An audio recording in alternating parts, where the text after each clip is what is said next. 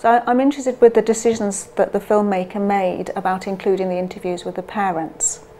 And to me, that it acknowledges a, a, a, a moment of, of having shown the, the initial footage to the participant and, and to Justine's family, and then reacting to their response to that.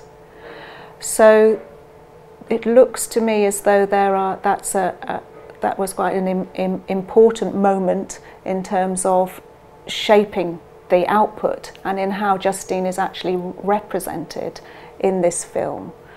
And so by adding the different perspectives of her of her family, I think we have added the, the film. It is added to the to the actual output. But these are all ethical decisions to be made in terms of whose voices are to be represented here and who has the final say in the shape of, of the film.